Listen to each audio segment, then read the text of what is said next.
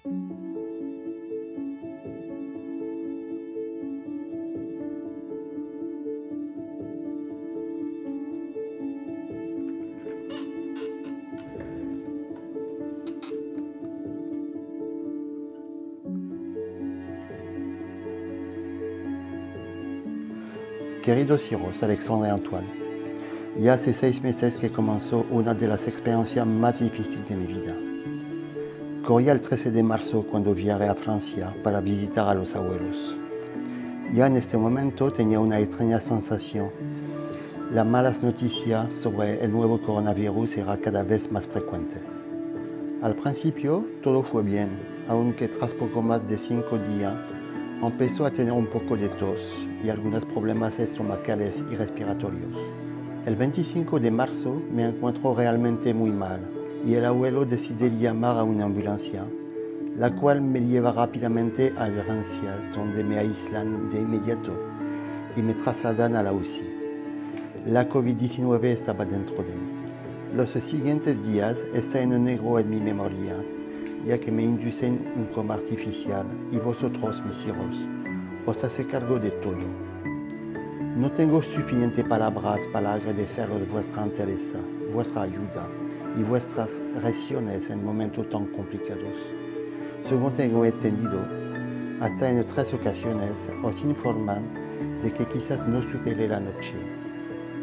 Qué duro debe ser escuchar esas palabras y sin embargo no perder la esperanza. Pasan los días, los tratamientos y los médicos y de repente en mis ojos se empieza a formar una imagen borrosa. Tras más de tres semanas de coma despierto, o me despiertan, no lo sé. Estoy desorientado, intubado, atado a la cama y conectado a un sinnúmero de máquinas. Pero el más importante es que la recuperación va de buen camino. Los días pasan, me extuban y una gran sensación de libertad se apodera de mí. Esa esperanza se va convirtiendo en realidad y finalmente salgo de la UCI.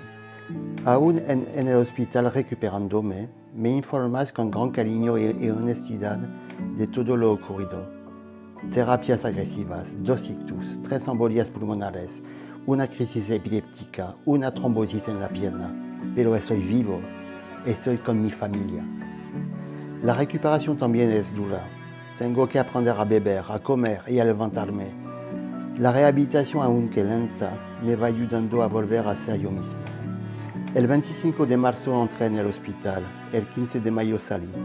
Las lágrimas de alegría recorrieron mi rostro, a saber pocos días antes que por fin di negativo a la prueba del COVID-19. Curado. Como sabéis, al día de hoy sigo con las escuelas de la enfermedad, tanto físicas como psicológicas, y continúo luchando por mí, por vosotros y por toda esa persona que quiero. Hijos, con esa carta quiero que me ayudes a extender un mensaje. Usa la mascarilla. Evita esos deseados besos y abrazos. Actúa con responsabilidad y cuida de vuestros seres queridos. No hay nada más potente que la esperanza y el amor. Y nada más necesario ahora mismo que demostrarlo cumpliendo con todas las medidas. No le tengamos miedo a la enfermedad, tengámosle respeto. Es cierto que la grande parte de los contagiados son asintomáticos o son personas que superan la enfermedad con muy pocos síntomas. Por suerte, esos son la gran mayoría y casos como el mío son excepción. No diremos que la enfermedad decida por nosotros si seremos un caso leve o grave. Evitemos el contagio. Está en nuestra mano. Gracias por vuestro amor. Os quiero.